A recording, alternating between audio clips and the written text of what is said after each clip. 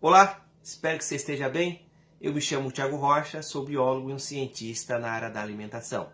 Muito obrigado por sempre estar acompanhando as nossas redes sociais e você que está chegando pela primeira vez assistindo o vídeo meu, sinta-se à vontade, eu fico muito feliz pelo teu carinho. Hoje nós vamos falar sobre um problema recorrente, que é o uso do descongestionante nasal. As pessoas usam muito, tá gripado já usa, tá com nariz entupido já usa, tá com uma renite já usa. Quem tem renite crônica, principalmente faz uso continuado porque o nariz está sempre fechado. Deixa eu te explicar um pouquinho para você entender. Por que, que congestiona o teu nariz? Por que, que começa a sair é, secreção demais? É normal sair secreção do nariz, só que você não nota isso.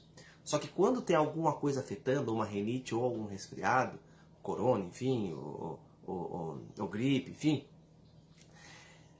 os teus vasos sanguíneos do nariz se dilatam. E essa dilatação vai fazer com que a secreção saia mais fácil, por isso que escorre, por isso que entope. O que que esses descongestionantes fazem?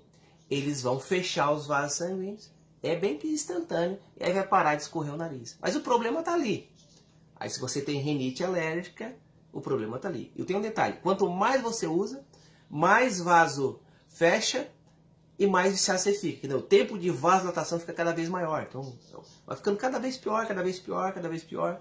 Que mal tem usar isso direto, Tiago? Diversos fatores, mas principalmente pela destruição das células epiteliais. O que, que é isso, Tiago? Se você colocar o dedo do nariz por dentro, e quando chegar na pele, aquela, aquele tecido ali chama-se célula epitelial, sistema de defesa número um do organismo. Nessas células residem substâncias interessantes, que são altamente antibióticas, é, defensinas, estatinas e as famosas catalecidinas, aquela substância que o raio do sol é, vai produzir no nosso organismo, mata vírus, mata bactéria, mata fungo. Primeira defesa. O muco é para poder envolver esses, esses, agentes etiológicos, essas, essas bactérias, esses vírus. Os cílios para não deixar eles entrar. Então, quando você usa esses descongestionantes diretos, você mata essas células, você mata o sistema de defesa principal. Então, é, o uso continuado desses descongestionantes é altamente perigoso. Tiago, gripei. Se você quiser usar, é químico, não presta, mas você vai usar uma vez ou outra, é diferente. Se você tem renite, não usa isso, você tem que tratar renite, você vai, você vai fazer tudo de novo, vai fechar o vaso, os vasos e os vasos vai parar de, de, de escorrer o nariz, vai, vai desentupir, vai tudo, mas e aí? E aí a tua renite está ali ainda. Você tem que tratar. E geralmente renite o problema é o leite. Cortou o derivado de leite, queijo, em 30 dias já resolve o problema. Tiago, descongestionante nasal natural? Tem, alguns. Você pode também estar tá comprando, mesmo em farmácia, uns que são mais naturais, à base já de, de cloreto de sódio. Aí já são mais. É bem, é só uma lavagemzinha, é diferente, é mais natural. Os pediatras passam muito para crianças isso aí, por ser mais natural.